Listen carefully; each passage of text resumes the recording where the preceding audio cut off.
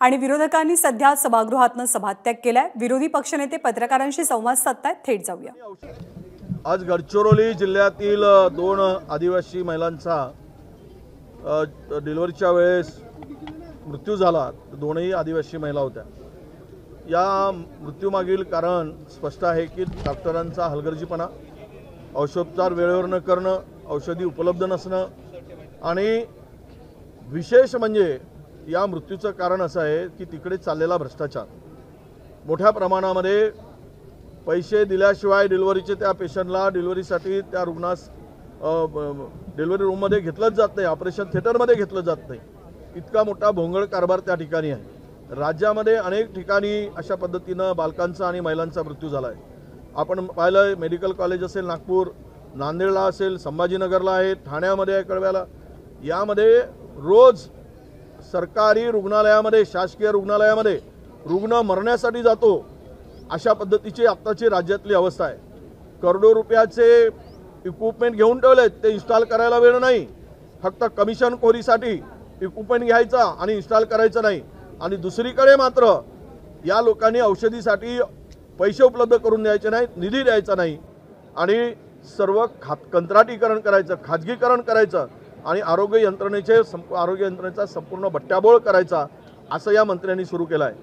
दुःखानं आणि वेदनेनं सांगावं लागतं या सगळ्या प्रकरणाची चौकशी करण्याची मागणी आम्ही सगळेजण करत असताना आमचे आम्हाला वरून म्हणजे आम- सन्माननीय अध्यक्ष त्या ठिकाणून समिती व- चौकशी समितीची घोषित करण्यासाठी सांगतात. हे या ठिकाणी खरं म्हणजे खेदानं सांगावं लागतं. या संदर्भात आम्ही तीव्र नापसंतीही व्यक्त करतो.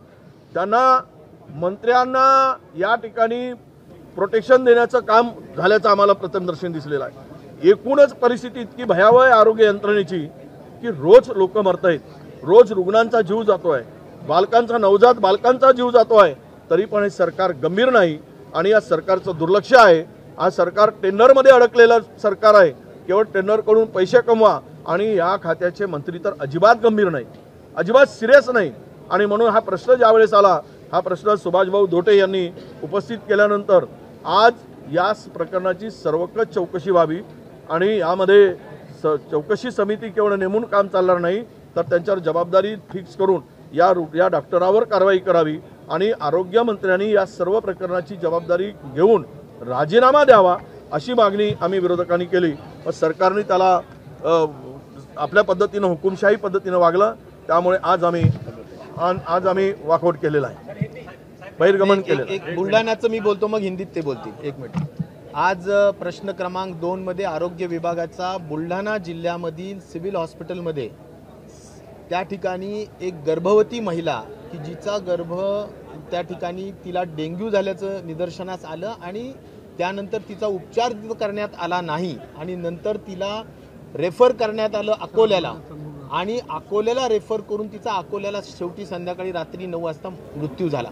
ही जी स्टोरी आहे याच्यामध्ये चौकशी केली असता असं आहे की जर डेंग्यू झाला होता तर डेंग्यू झाला होता तर मग डेंग्यूमध्ये प्लेटलेट्स कमी होतात. मग प्लेटलेट्स कमी झाल्या तर प्लेटलेट का दिला नाही? हा सगळ्यात पहिला प्रश्न. दुसरं जर मंत्री महोदयांनी सांगितलं की गर्भ ठोके लागत नव्हते याचा अर्थ गर्भात मृत्यू झाला होता गर्भामध्येच तर याचा अर्थ असा आहे की त्याचं ऑपरेशन होणं गरजेचं आहे. त्या ठिकाणी फक्त गायनेकोलॉजिस्ट आणि त्या ठिकाणी फिजिशियन हे दोनच पाहिजेत तरी सुद्धा बुलढाणासारख्या सिव्हिल हॉस्पिटलला जिथं सेकंडरी केअर केली जाते या ठिकाणी हा गव्हर्नमेंटचा प्रायोरिटीचा प्रोग्राम असतो. तरी सुद्धा या ठिकाणी हे दोन लोक नव्हते का? ते जर गर्भ काढून टाकला असता जो मृत्यू झाला तर त्या ठिकाणी ती महिला पेशंट वाचली असती. पण दुर्दैवानी संपूर्णत दुर्लक्ष होण्याचा विषय आहे.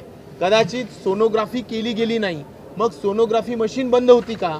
याचा अर्थ सोनोग्राफीच्या machines M R I machines C T scan machine या सगळ्या बंद असतात. साधा प्रश्न आहे की डेंग्यूमध्ये थ्रोम्बॉसिस होतात गाठी होतात. आणि मग त्यामध्ये P T I ion I N R करतो आपण. म्हणजे रक्त किती प पद्धतीनं पातळ आहे ह्या गोष्टी लक्षात घेतात.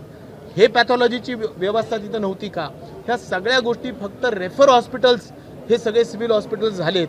आणि बरेचसे इक्विपमेंट बंद असतात.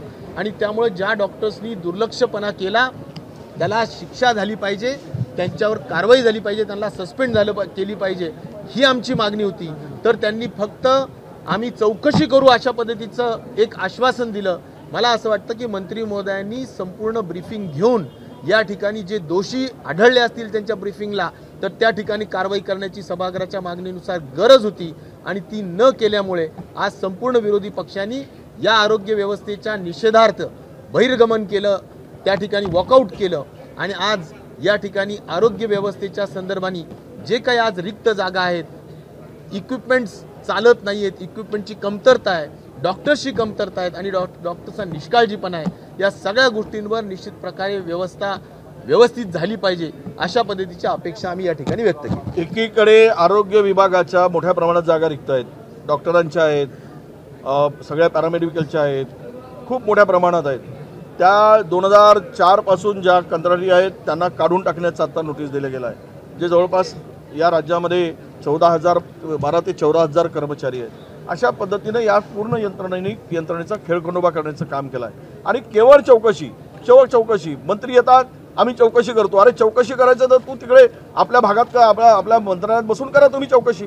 पण मंत्री अभ्यास करून येत नाही याला चुकीचं ब्रीफिंग दिलं जातं आणि चौकशीच्या नावावर हे सगळे प्रकरण दाबले जातात.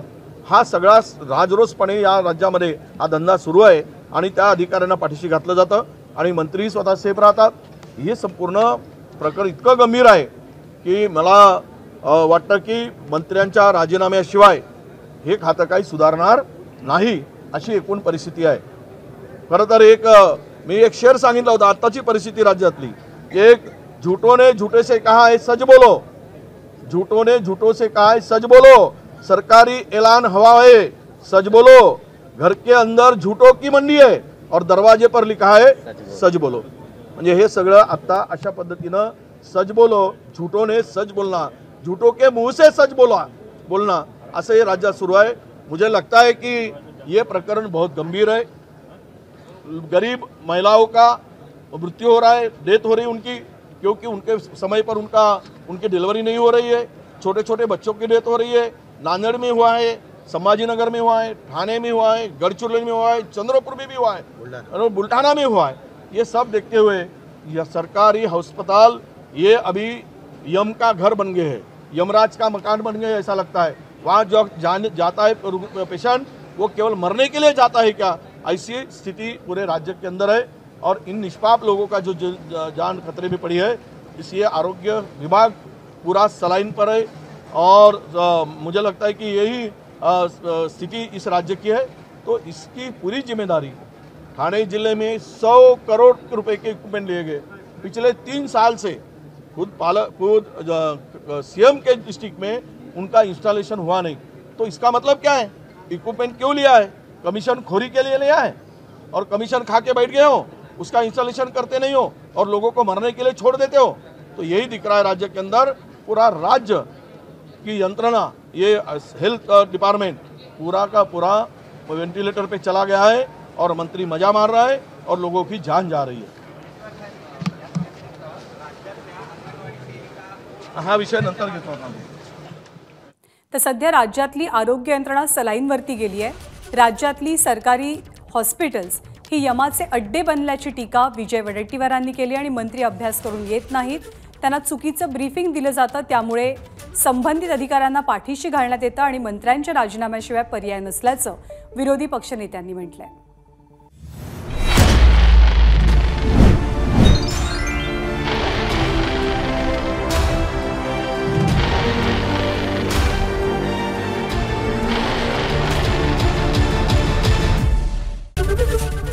एबीपी माझा. उघडा डोळे बघा नीट.